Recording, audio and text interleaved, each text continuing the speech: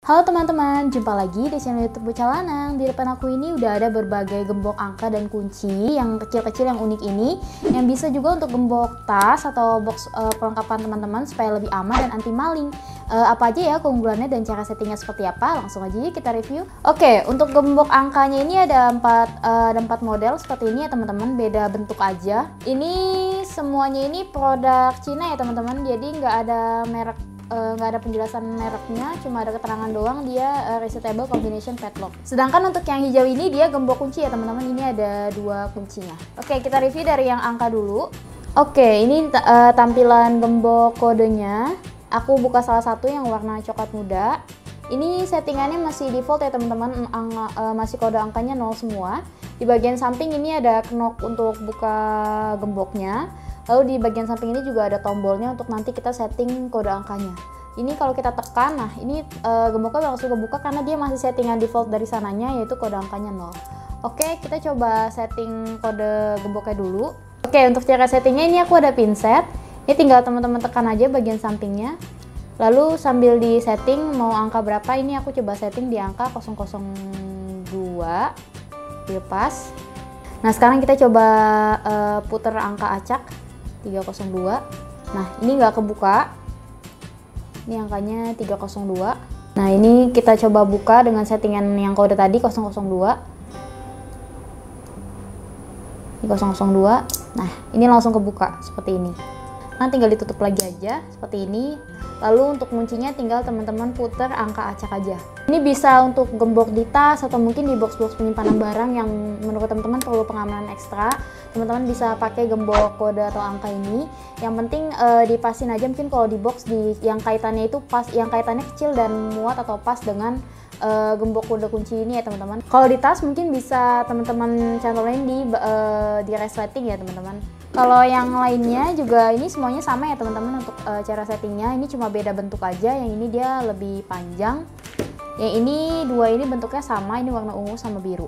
Untuk ukurannya juga ini mini banget ya teman-teman, kecil gini aja. Jadi uh, segenggam sehingga cocok banget bisa dibawa pergian di kantongnya atau bisa dimasukin kertas. Oke, yang produk yang selanjutnya ini yang gembok kunci warna hijau. Di sini ada keterangannya color padlock. Di sini nggak ada instruksi apa apa ya teman-teman, semua dalam bahasa Mandarin.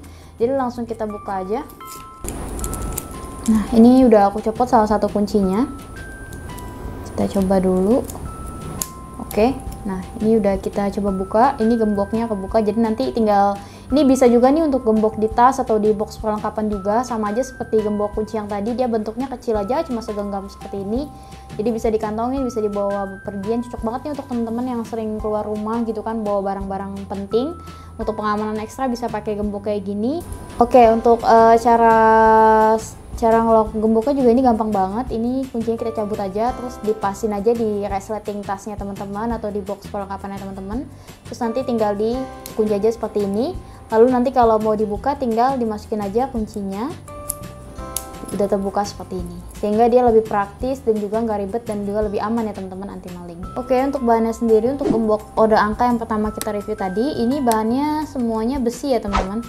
Bisa dilihat bagian pengaitnya ini terus uh, bagian badannya ini juga. Lalu gembok yang kedua juga sama besi semua. Sedangkan untuk gembok kuncinya ini dia uh, bagian atas pengaitnya ini besi dalamnya juga besi ini kuncinya juga cuma dia bagian badannya ini dia dilapisi plastik ya teman-teman Oke teman-teman, tadi kita udah selesai mereview gembok kunci dan gembok kode angka dari dengan berbagai model. Cocok banget nih untuk melindungi tas atau barang-barang perlengkapan teman-teman yang sering keluar rumah atau e, bepergian. Terutama untuk teman-teman yang sering traveling yang biasanya di tasnya atau di kopernya belum ada gembok bawaan. Nah, teman-teman bisa pakai gembok kode angka atau gembok kunci yang seperti ini. Bentuknya praktis, kecil, jadi nggak makan tempat dan juga cara settingnya juga mudah. E, sehingga dengan menggunakan gembok-gembok seperti ini, teman-teman bisa pastiin tas atau perlengkapan yang teman-teman bawa itu aman dari pembobolan atau pencurian. Oke, untuk teman-teman yang lagi cari gembok-gembok seperti ini, kemarin aku belinya murah banget. Ini cuma 10 ribuan aja dan ada berbagai model dan bentuk, jadi tinggal disesuaikan aja dengan kebutuhan ya. Kemarin aku belinya di Lazada, nama tokonya Tochimi. Nanti link tokonya aku sertakan di description box ya. Bila ada pertanyaan atau usulan produk apa yang ingin kami review di video selanjutnya, silahkan tulis di kolom komentar ya. Jangan lupa like dan subscribe channel kami ya. Terima kasih telah menonton video ini. Sampai jumpa di video selanjutnya.